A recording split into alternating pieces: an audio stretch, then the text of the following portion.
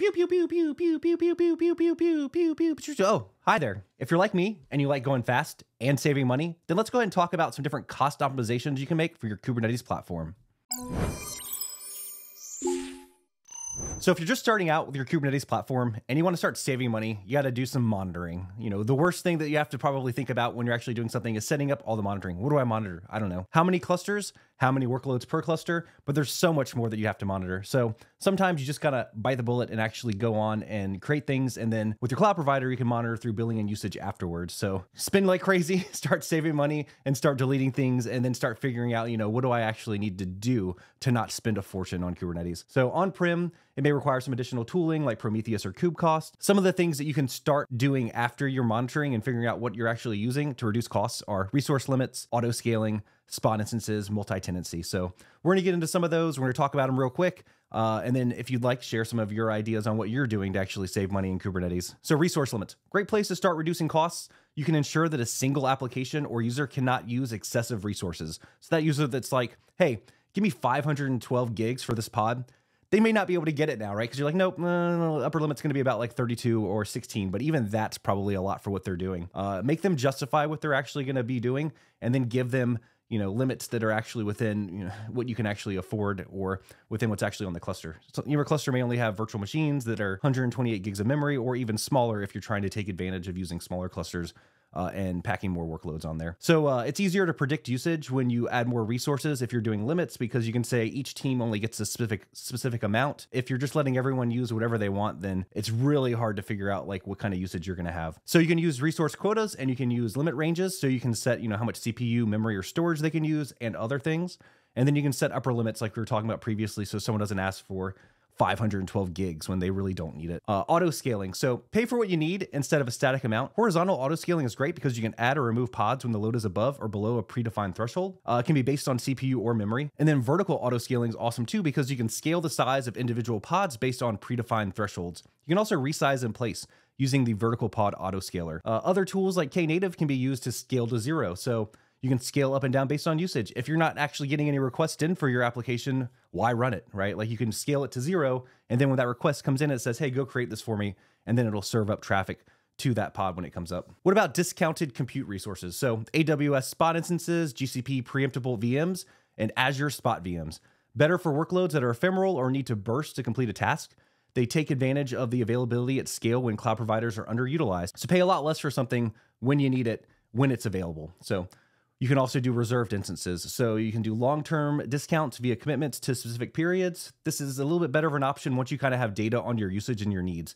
So once you've kind of been running for a little bit and you're like, okay, this is about how much I'm going to need. I don't see huge growth within the next couple of months. Let me go ahead and get some reserved instances so I can pay a little bit less and say that I'm going to be running this, you know, for the next six months or a year. You're, some of the downside is you're kind of locked in on that, but if you know that you're going to be using this for a long period of time, then it's better to to look at this instead of just saying, okay, let me just start creating things whenever whenever I need them. Uh, and then on prem, you may use older hardware or something like that for a POC. Maybe you've got some hardware sitting around, you just want to get stuff running.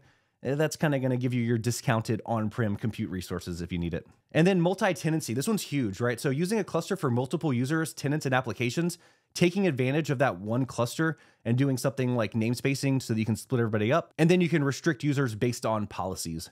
Uh, and then vCluster, obviously Loft, this is one of our products that makes it super easy for multi-tenancy. You can separate workloads using namespaces and then go a little bit beyond and use virtual clusters, which will give you a separate API from the base cluster so you can install additional different versions of CRDs, create additional namespaces, and it spins up in a minute, right? So multi-tenancy is probably one of the easiest things that you can do to save money in Kubernetes.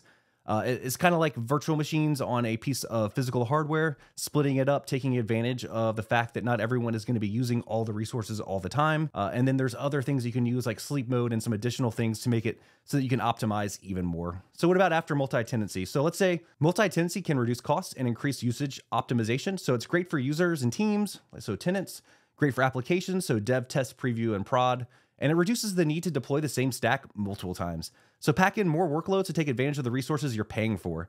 Right? So eh, dev test preview, do you need a different cluster for each one of those? Not if you can do something like, you know, vCluster to deploy a new cluster with a new API endpoint and test new CRDs and then test things on the cluster and then quickly delete and get rid of them like it's an ephemeral environment. But you could also run that in addition to production environments because you're you're just you're just going to be spinning up these ephemeral things for a little bit and getting rid of them. So they're not going to be using a ton of resources or maybe even interfere with your prod. Now sometimes you're going to have multiple clusters if you want to separate things out completely so that you have less, you know, points of failure, but something to think about when you're trying to just save costs, especially if you only have like you know a small application that's running and only serving up a little bit of stuff. Uh, and then you, you can combine this with auto scaling you can even save more. Some workloads are not going to need to run for extended periods and are ephemeral.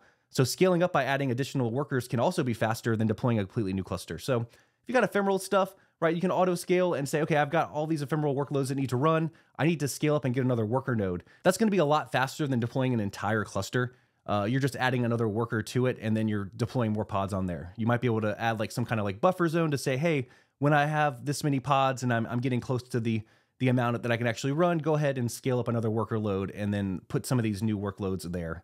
Uh, and then, hey, if you're using something like a spot instance, you can save even more with that because you're just saying, hey, give me something super cheap. I'm going to run these workloads real quick and then I'm going to delete it. So, uh, what's conclusion, right? Like, so monitoring is a great place to start to figure out how much you're already spending. Multi tenancy can reduce costs and cluster sprawl. And then there's a bunch of projects that are cloud native that can help you scale to zero, help with cost monitoring, and help with multi tenancy. Even help you a little bit with the chargeback, which is pretty cool. Definitely avoid handing out an entire cluster to every user, right? So, where do you go from here? Well, start monitoring, uh, start looking at multi tenancy, look at stuff like namespacing, and then if you want to go a little bit farther, look at uh, vCluster. Uh, and then after that, look at some other projects that may help you with these other things that you need to do and then avoid handing out a cluster to every user. Thank you for watching this video. If you have any suggestions on how you can save on Kubernetes platforms, let us know in the comments, right? Like, what are you doing to save money? Uh, are there some things that I missed here? Maybe I missed a couple of great ideas that you can share with the community. But uh, thanks for watching. Check out the description so you can see how to join our community and get started with vCluster today. Thanks. Bye.